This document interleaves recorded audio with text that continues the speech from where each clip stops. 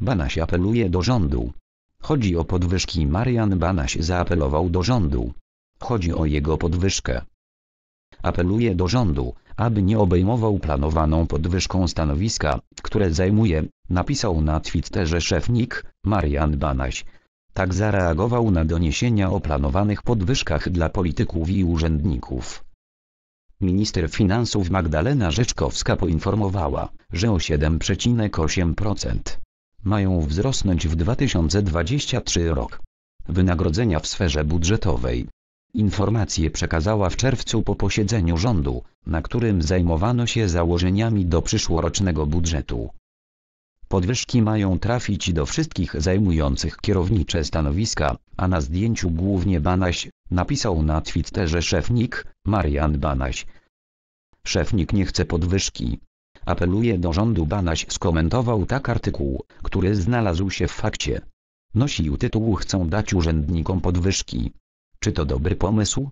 Tekst opatrzony był dużym zdjęciem szefa NIK i podpisem, ma powód do radości.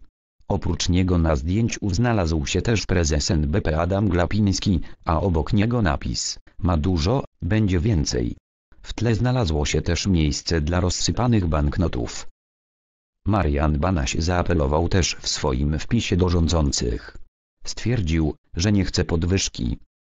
Apeluje do rządu, aby nie obejmował planowaną podwyżką stanowiska, które zajmuje.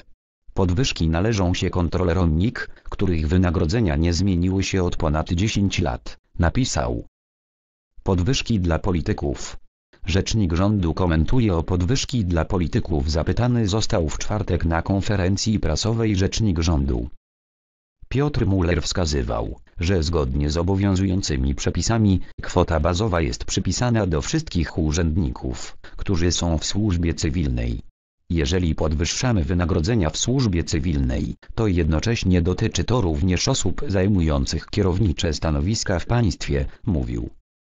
Natomiast te przepisy można zamrozić w tak zwane ustawie okołobudżetowej i to jest to miejsce, w którym się mrozi, jeżeli jest taka decyzja, wynagrodzenia polityków, dodał. Zaznaczył, że trwa dyskusja na ten temat, a decyzje nie są jeszcze podjęte.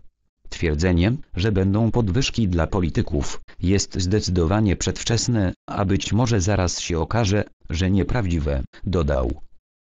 Ja zakładam, że żadnych podwyżek w tym obszarze nie będzie, oświadczył Muller. Mamy sytuację, w której jest inflacja, w której są różne wydatki państwa.